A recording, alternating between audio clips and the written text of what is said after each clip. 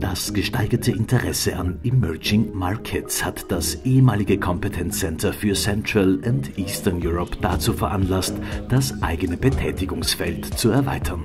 Aber wie definiert man eigentlich Emerging Markets? Wir sind jetzt mal rangegangen und haben gesagt, wir definieren Emerging Markets sehr, sehr breit, äh, basierend auf zwei groben Kriterien. Das eine Kriterium äh, ist, dass ein Markt sehr viel Wachstumspotenzial hat und auf der anderen Seite ist es ein Markt, äh, was sehr, sehr viele äh, institutionelle Risiken birgt ähm, in verschiedenen Bereichen, zum Beispiel eben im Bereich Korruption oder Infrastruktur. Der Sammelbegriff Emerging Markets ist wahrscheinlich relativ schwierig da es je nach Industrie unterschiedliche Emerging Markets gibt, Nummer eins, und die in sich, glaube ich, sehr, sehr heterogen sind.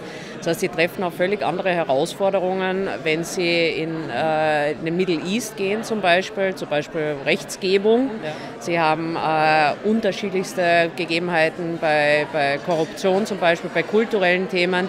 Äh, das heißt, sie können nicht über ein Emerging Market Cluster sprechen, sondern sie haben in sich, und das ist ja das, was es so spannend macht, völlig unterschiedliche Länder dahinter. Namentlich bleibt man jedenfalls auch Mittel- und Osteuropa treu. Begründet wird das mit dem zum Wirtschaftsstandort Österreich komplementären Ausbildungsangebot. Und der zweite Grund ist, wenn ich auf einer Konferenz in, in, in Polen auftrete, dann trete ich ungern unter direkt eines Kompetenzcenter für Emerging Markets auf. Die würden mich dort auspfeifen. Sie ist äh, nach wie vor ein wichtiger Wachstumsmarkt, für, vor allem für Österreich oder vom österreichischen Standort aus. Ähm, aber es äh, sind natürlich äh, kleinere Volkswirtschaften, die also in unseren Märkten vor der Haustüre äh, zu finden sind. Und äh, Märkte wie Indien, wie China oder wie also der ganze Kontinent Lateinamerika bieten natürlich viel größere Wachstumschancen, weil also diese Märkte mehr Aufholbedarf noch haben und natürlich von der Volkswirtschaft, von der Anzahl der Menschen wesentlich größer sind. Zusammenfassend, Emerging kommt aus der Entwicklung, Entwicklung der Wirtschaft, auch der Rechtssysteme, so in Richtung westlicher Standard.